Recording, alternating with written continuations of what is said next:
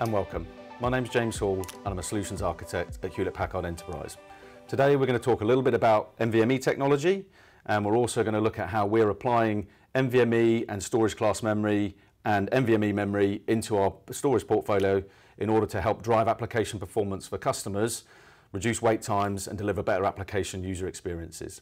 So very quickly, let's talk about NVMe because there's a lot of confusion around that. So NVMe is not a media type. NVMe is a protocol that replaces SCSI. SCSI's been around for a long time. It was designed to work with spinning drives. And now, as you can see, in the world we live in, we're moving towards SSD drives for all of our workloads. And therefore, NVMe is a new protocol in order to move data around in a much quicker time frame. So very quickly on the media types. So today we have SAS SSDs. And if we look at the cost of those, um, they're relatively cost effective. We also have NVMe SSDs, which have a slightly higher cost. And then we have storage class memory. And to give you an example of that, that's currently the highest cost that we have today from a memory technology point of view. So if we think about these, today largely we're shipping SAS SSDs.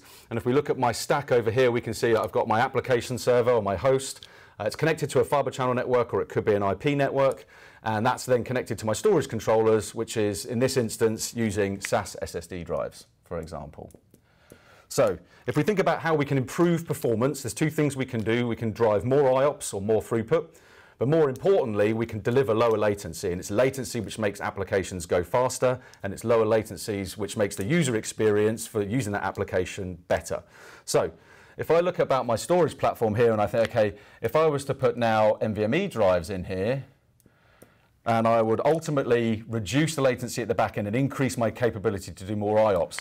But within that, I'm only impacting the latency in this area here. So I may go from a millisecond to half a millisecond, which is fantastic because it means I can do potentially twice as many IOPS. It also means that my application server is getting its data faster. But what I'm not doing is I'm not addressing any of this space here.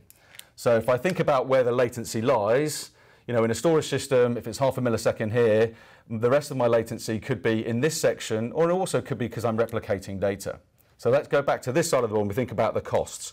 So if I'm going to spend a significant amount of money, so I'm going to use my NVMe resources and put them as an entire tier of storage in here, I address only a very, very small uh, element of my stack. So, you know, I have to get the block from my host into the storage RAN, have to get my acknowledgement back, or I have to get my read back across the wire. So over here, and if I go back to my cost side, I'm spending more than I would have done on my SAS SSDs to have a faster tier of media in my storage array, but I'm not addressing the overall stack over here. So can we do NVMe from host to storage? Of course we can, but today we have a limited number of operating systems that are supporting native NVMe from a host perspective, and also a limited number of fiber channel switches and IP switches where we are supporting NVMe. So then we start to look at, okay, do I want to spend a significant amount of money to get only a benefit in one element of my stack, is one question, or can I do something different in order to accelerate my application workload where I don't have to put an entire tier of storage in, which isn't going to address the overall stack for me. So how do we look at that? So if we look at my other drawing here, again, it's a simplified version. So I have my host, he's connected to a switch, and again, I've used fiber channel, but it could be IP. Now down in this area, I have my SAS SSDs.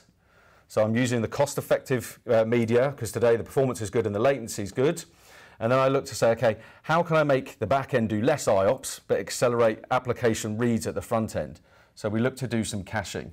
So in here, I can use my storage class memory, and now I can use it as an advanced read cache. So the system is looking at what blocks are being required very, very frequently, and we move that from the back end, and we move that onto the controller node itself where it can be accessed extremely quickly over NVMe with a storage class memory device which has blisteringly low latency.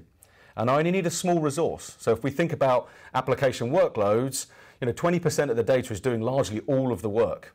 So if I can start to cache those reads into the controller node, I'm now addressing the latency. So I'm delivering the latency, a much faster latency as I described up here using these devices, but now I'm only doing it with a very, very small resource. I haven't had to buy an entire array full of NVMe resources. I'm literally adding my storage class memory. And the reason I want to add a little bit is because of this. It is costly. It's costly. So now I want to get the most amount of use of it. So what benefit do we get from that? So from an Oracle perspective, and we're caching reads into this storage tier, we can see around about a 37% reduction in Oracle wait times. What does that mean? It means that your CPU cores are not having to wait for your storage to, to, to respond. So, and here's a bold statement, if I remove 40% of my cores, what impact does that have on my Oracle licensing? A very positive one. More importantly though, um, from a user perspective, we're seeing a 20% enhancement to the user's experience on that application. It means that they are able to be more productive and work faster. And this is not just for Oracle, this would be for any potential workload, typically structured, could uh, gain the benefits of using this technology. So let's look at the summary. So I have a new protocol to move blocks around. Today we can do it in the storage array, and yes, we can do it from host across the fabric to the array, but it's limited in what we support. I've got three drive technologies or three memory technologies. So I've got my SAS, which is the most cost effective today, I've got my NVMe SSD drives, and I've got my storage class memory drives. And if we think about from a performance point of view, the performance goes up as we come down these media types, and the latency goes down, but the cost goes up. So in our world, we want to take the fastest memory technology, and we want to implement it in a simplified manner in a system that requires no administrational overhead, no operational overhead, and we want to get our best bang for bucks. We want these cards or these drives full of data because we're spending a bit of money on them. And the net result from there is, is I don't have to change anything here. And if I haven't got the support from an operating system perspective here, I can still get the benefit of this technology. And I can reduce application wait times, which might have a positive impact on my licensing.